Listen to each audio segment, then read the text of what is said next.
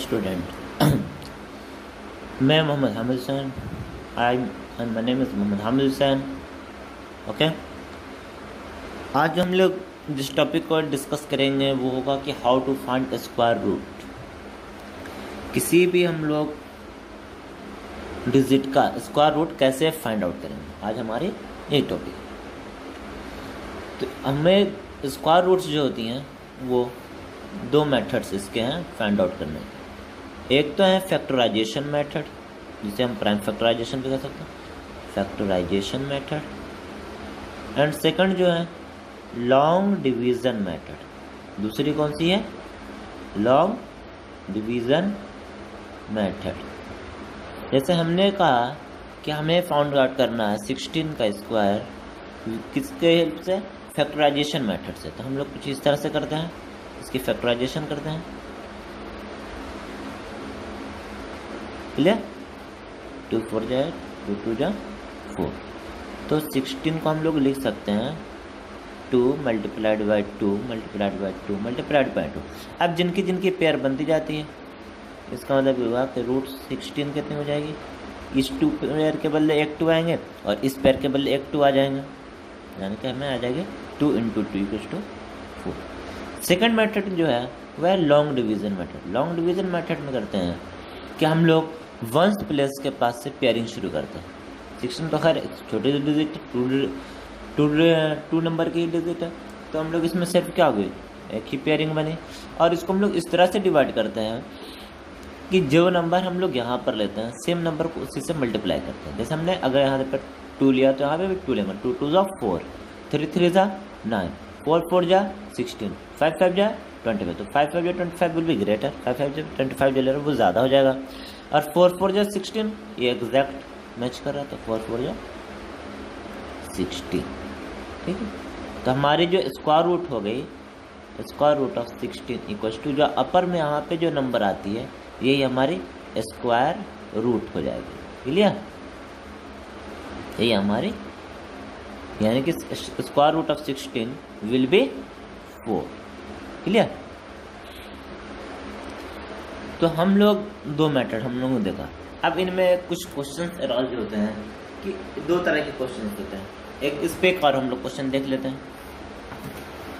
Clear जैसे एक हम लोग क्वेश्चन देख रहे हैं। फोर थाउज़ेंड नाइन्टी सिक्स हम लोग उसी तरह से करेंगे पेयरिंग करना शुरू करेंगे। एक पेयरिंग किया। सेकंड पेयरिंग किया देखो टू टू जा फोर थ्री थ्री जा नाइन फाइव फाइव जा ट्वेंटी फाइव सिक्स सिक्स जा फोर्टी सिक्स सेवन सेवन जा फोर्टी नाइन सेवन सेवन जा फोर्टी नाइन बिल भी ग्रेट है।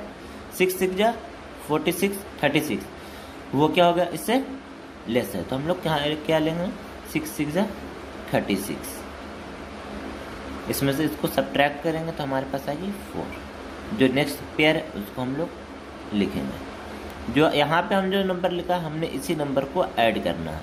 तो कितनी आ जाएगी? ट्वेल्व अब जो भी हम लोग यहाँ पे नंबर लेंगे, उससे मल्टीप्लाई करनी पड़ेगी। जैसे यहाँ पे वन लिखेंगे तो ये वन ट्वेंटी वन हो जाएगा।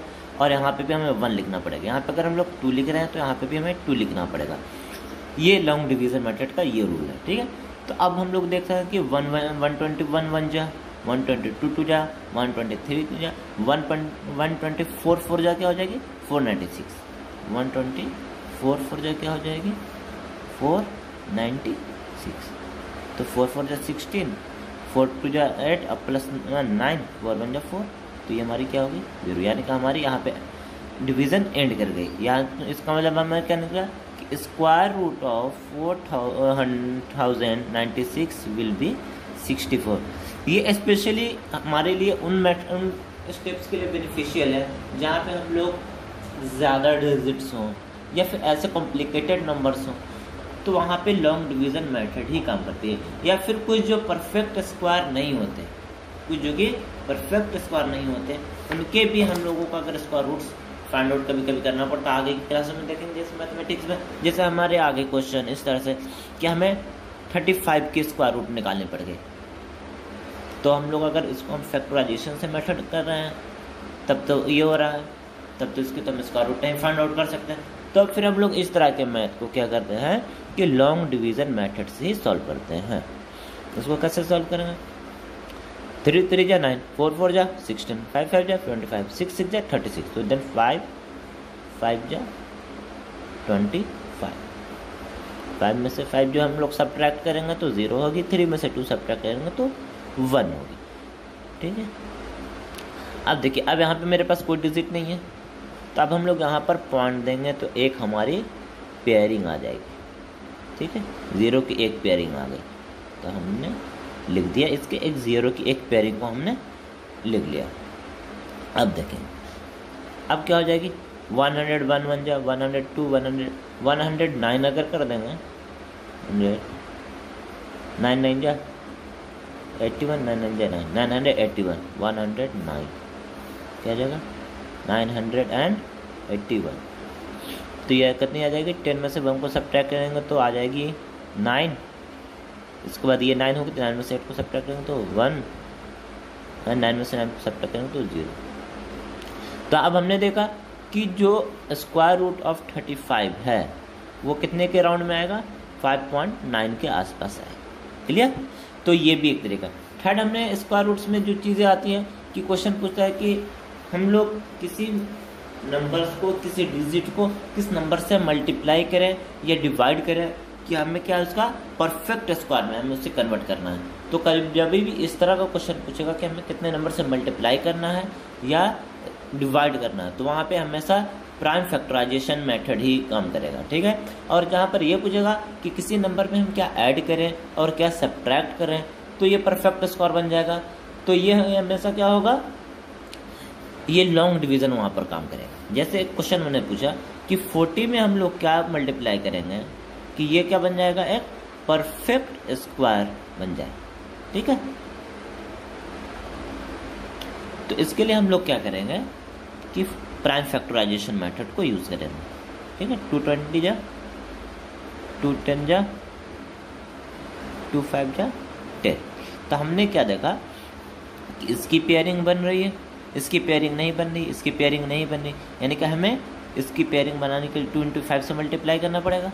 क्लियर तो अब हम लोग लिख सकते हैं कि अगर हम लोग टू इंटू फाइव टेन से अगर इसको मल्टीप्लाई कर दें तो हम, यानी कि हमें स्क्वायर रूट में बेसिक होता है जिस, जो चीज़ की पेयरिंग नहीं बन रही है तो उनके हम पेयरिंग्स बनाते हैं। ठीक है? तो हमें इसकी पेयरिंग नहीं बनी थी, इसकी पेयरिंग और बना देंगे तो फिर हमारे पास क्या हो जाएगी? परफेक्ट स्क्वायर हो जाएगी। यानी कि अगर हम फोर्टी को टू इंटू फाइव से मल्टीप्लाई कर रहे हैं इसका मतलब कि इसकी हमने जो फैक्टराइजेशन लिखी थी two into two into five इसके साथ हमने एक और टू और फाइव से मल्टीप्लाई कर दिया तो हमारी क्या हो जाएगी? ये परफेक्ट स्क्वायर बन गई। और जो हमारी अब न्यू नंबर आ जाएगी, वो क्या आ जाएगी? टू टू जा फोर फोर टू जा एट ठीक है? टू टू जा फोर फोर टू जा एट एट टू जा सिक्सटीन सिक्सटीन फाइव जा एटी हम लोग कर सकते हैं। टू टू जा, फोर फोर, फाइव जा। ट्वेंटी, टू टू जा, फोर फोर, फाइव जा। ट्वेंटी। ज़ीरो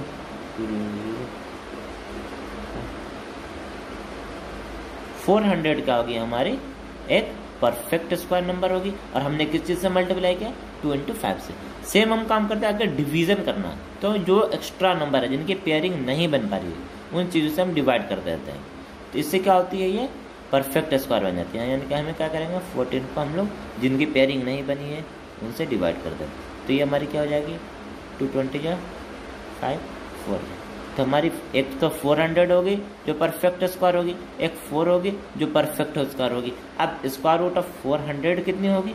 तो हम लोग यहाँ से निकाल सकते हैं कि इनकी एक पेयर बनी थी टू इसकी हमने पेयरिंग कर ली, इसकी भी पेयरिंग कर ली तो टू टू या फोर फोर फाइव या ट्वेंटी हो गए। और इसकी क्या हो गई? स्क्वायर रूट ऑफ़ फोर की। तो सिर्फ़ जिसकी पेयरिंग बनी है, वही इसकी स्क्वायर रूट हो जाएगी। क्लियर तो ये हमारी हो गई कि हम कैसे square root of square root find करते हैं। किसी चीज़ का मल्टीप्लिकेशन जब जाए, किसी नंबर से अगर हमें मल्टीप्लाई या डिवाइड करना है तो हम लोग उसको कैसे फाइंड आउट कर सकते हैं? परफेक्ट स्क्वायर बनाने में। एक क्वेश्चन ये राइज होता है कि हम लोग किसी नंबर में क्या ऐड करें और क्या सब्ट्रैक्ट करें तो वो परफेक्ट स्क्वायर में कन्वर्ट हो जाए। इसके लिए हमेशा हम लोग लॉन्ग डिवीज़न मेथड को यूज़ करते हैं। जैसे एक क्वेश्चन हमने है कि 35 दिया हुआ क्वेश्चन में। अब इसे पूछ रहा है कि हम लोग क्या इसमें ऐड करेंगे? तो ये एक परफेक्ट स्क्वायर बनेगा।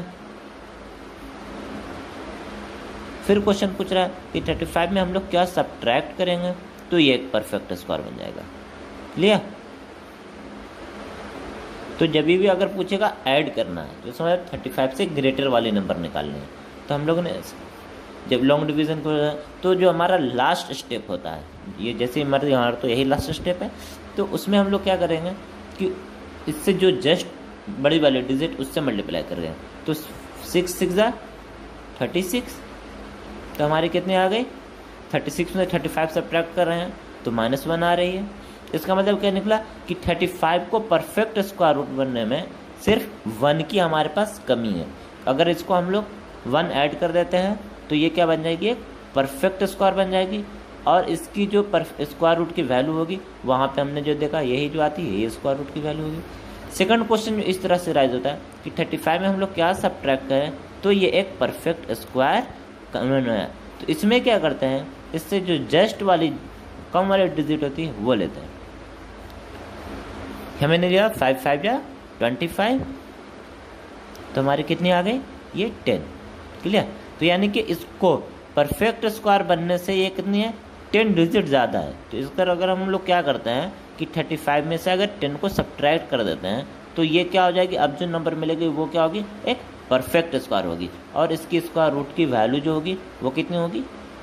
जो अपर वाली डिजिट है, वो होगी क्लियर तो इस तरह के केसेस में हम लोग क्या सीख लिया कि कैसे हम लोग इस स्क्वायर रूट के क्वेश्चंस को हम लोग कैसे डील करेंगे। क्लियर जैसे एक क्वेश्चन है तो हम लोग और क्वेश्चन देखेंगे।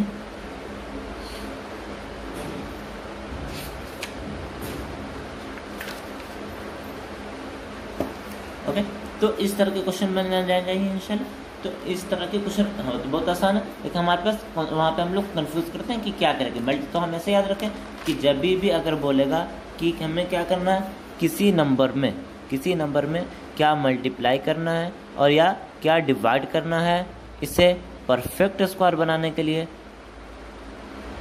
परफेक्ट स्क्वायर बनाने के लिए।